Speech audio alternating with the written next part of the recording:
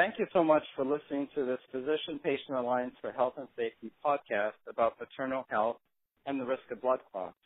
I'm Michael Wong, Executive Director of the Physician Patient Alliance. With me today are Colleen Lee, who is Maternal Perinatal Patient Safety Officer at Montefiore Medical Center, located in Bronx, New York, and Pat Iyer, a legal nurse consultant who provides education to healthcare providers about patient safety. Pat, the Physician Patient Alliance is so pleased to have you host host uh, this podcast. Wonderful, Michael. Thank you so much. In this program, as I talk with Colleen, we will be discussing the risks of pregnant women and women who have delivered who are at risk for developing a blood clot or a venous thromboembolism. And Colleen, I wanted to start off by telling you about Greta, who was a woman who delivered her child and developed signs of a massive pulmonary embolism or a blood clot in her lungs. But before we talk about her, just in general, what are some of the risk factors that women experience for the development of a blood clot? So, particularly during pregnancy, women are at risk for blood clots to develop because of a combination of factors. Something called Virchow's triad, which just means that there's three things that are happening during pregnancy and the postpartum period venous stasis, endothelial injury, and the fact that the woman is in a hypercoagulable state. And essentially, with all these three things happening, it puts the woman at increased risk for blood clots to form. In addition to other things like perhaps being on extended bed rest after a surgery such as a cesarean delivery, um, extra weight in the abdomen, you know, putting pressure on the lower extremities, and basically things like that related to the pregnancy. You mentioned venous stasis, and some of the people who are listening to this podcast may be unaware of what that term means. Could you explain that? Sure, sure. That's a great idea. Um, so, venous stasis, simply put, just means that the blood that is in the veins is not moving. It's not flowing back towards the heart, which it should be doing, and it's just basically staying in one place. Okay. And then what about endothelial injury? What could that be? So, endothelial injury refers to little um, micro damage in the vessel walls. So, the, the walls of the vein become slightly injured or, or damaged. And it really happens as a result of the strain of the pregnancy itself, where there's an increased blood flow as well as that increased pressure from you know, uh, more weight in the abdominal area. And then the third piece of the triad was the hypercoagulable state. What could that mean? And that would mean that due to a series of factors, uh, hormone changes, uh, pregnancy changes, such as an increased blood flow in the maternal circulation, which is which happens in order that the baby will get the appropriate amount of oxygen and nutrition, the woman becomes at increased risk for forming blood clots just sort of uh, spontaneously, which most other women would not be at risk for if they were not pregnant. How long after delivery is a woman at elevated risk for a blood clot? So the risk is present all the way throughout a pregnancy, from the first trimester through the end of the pregnancy, and then it does last up to about 12 weeks postpartum or after delivery.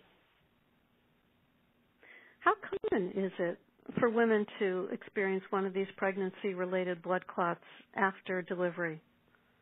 So that's a great question, Pat. After the delivery, there are sort of two stages of risk. And we do know that the woman's greatest risk for a blood clot is to occur in the first six weeks. At that time, she's almost 10 times more likely than a non pregnant woman to develop a blood clot. After the sixth week, between the seventh and 12th weeks postpartum, she has a significantly decreased risk. However, she's still almost twice as likely as non pregnant women to develop a blood clot at that time. I would imagine with that risk being present that one of the important components of healthcare would be patient education. What would you explain to a woman who had delivered about the symptoms that might indicate that there could be a blood clot forming? Very good question, and, and yes, you're right, very important to not only educate our healthcare providers about this, but our patients, because they're a member of the team, for sure. So, uh, particularly uh, while they're still in the hospital, is a great opportunity, you know, for some patient education to be done by the nurses and the physicians, and prior to discharge. And I would definitely want patients to be counseled that any sort of chest pain or pressure, difficulty breathing, um, certainly if that's severe, but I would I would even err on the side of even if it doesn't feel like it's that bad, I would still want to question it and address it. And then any kind of swelling or pain in the legs. Could you explain how a clot would cause those symptoms that are so significant warning signs? Sure. So basically, um, to put it simply, a clot forms as a result of those factors that I mentioned earlier, the venous stasis in particular. And what that means is that because of all the pregnancy related changes occurring in the woman's body, the circulation is not as effective as it normally is. And what that means is that the veins, in particular, are what carry the blood back from the lower extremities and the rest of the body to the heart. In the lower extremities in particular, if the blood is not circulating back to the heart as it as well as it should be, it's staying in one place basically. And when blood sort of sits in one place, it has a tendency to clump together and at that point may form clots. So if a clot is formed in a blood vessel, like a vein, the tissue there starts to become swollen. It can cause pain. And then certainly if this process occurs in any of the pulmonary vessels, meaning the vessels around the lungs, that can lead to an even more severe issue of the lungs not being properly oxygenated and causing those symptoms of severe pain in the chest or shortness of breath. We're talking about some really serious symptoms and also consequences when you discuss tissue death what can the healthcare providers do to try to prevent the progression of those symptoms and the tissue destruction? So, probably the single most important thing that the healthcare team can do is risk assessment and preventative measures for those women who are found to be at higher risk. So, some of the preventative measures that can be taken for a woman who's found to be at higher risk are mechanical prophylaxis, or another way to think about that are the graduated compression stockings, which are, um, you know, put on the lower extremities to sort of help the blood flow back to the heart. Also, there are sequential compression devices, which are mechanical stockings, if you will, that go on the lower extremities and serve that purpose as well. They they sort of serve as a pump for the blood to go back to the heart. And then, of course, there's also medication which can be administered, and that medication would be anticoagulant um, medication such as heparin to help the blood prevent clots from forming. At the beginning of this program, I talked with you about Greta, who developed um, a massive pulmonary embolism. And it certainly is a common cause of death and illness in pregnant women or in women in the postpartum period, or as well as other people who can develop a pulmonary embolism. But a saddle embolism is a very specific term. What does that mean? So, to put that very simply, a saddle embolus is basically a type of pulmonary embolus that can be large enough to block circulation to the lungs. And it is a very um, serious complication and it can cause preventable maternal death. And what I mean by preventable maternal death are what I was talking about just a few moments ago in that ideally, if we identify women who are at increased risk, we can intervene early enough to prevent such a serious complication as a saddle embolus. What are the symptoms of that condition? Of the saddle embolus would be severe shortness of breath, syncope or fainting, um, or dizziness, and chest pain. Okay. And could they be present in other conditions, those symptoms?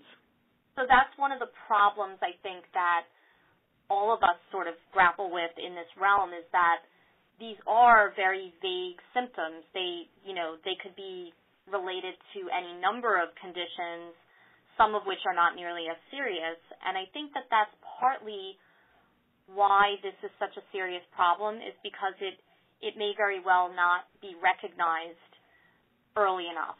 So I think that that's again to go back to that patient education component to really, really drive home the point that even if they don't think there's something wrong, if they experience any of these types of symptoms, that it is very important that they call the doctor and have it addressed as soon as possible.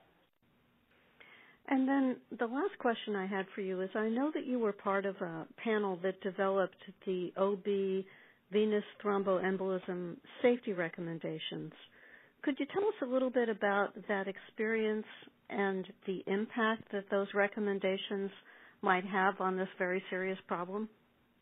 Sure, Pat. I think um, you know it's been really wonderful over the last few years that I have had the opportunity to work on these OB VTE safety recommendations, and also um, with other groups that are focusing on this as well.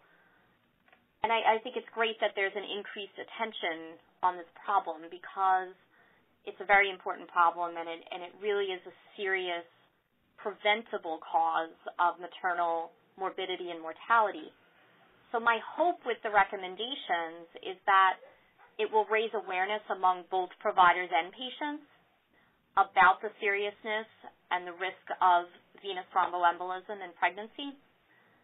And I think the take home message with these recommendations and with what we're talking about here is that the importance of risk assessment and prevention is really the key factor here.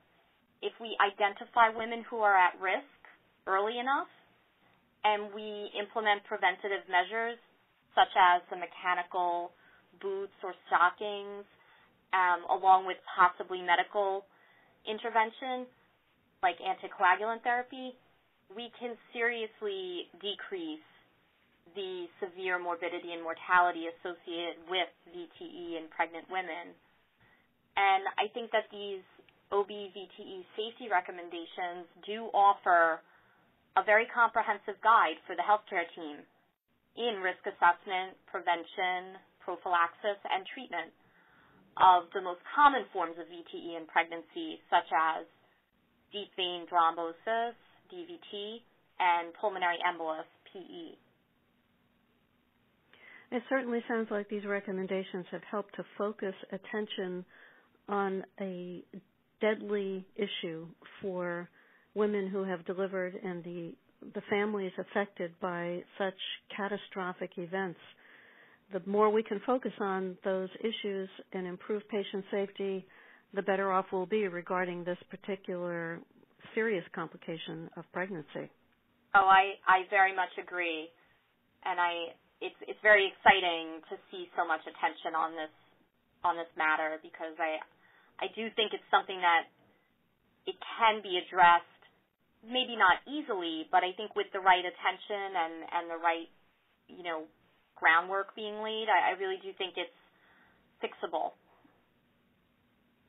Thank you, Colleen, for joining us today on behalf of the Physician Patient Alliance for Health and Safety. You may obtain more information about the work of this organization at www.ppahs.org.